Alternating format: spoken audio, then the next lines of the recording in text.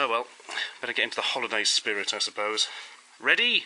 Steady? Crank up the funk spindle!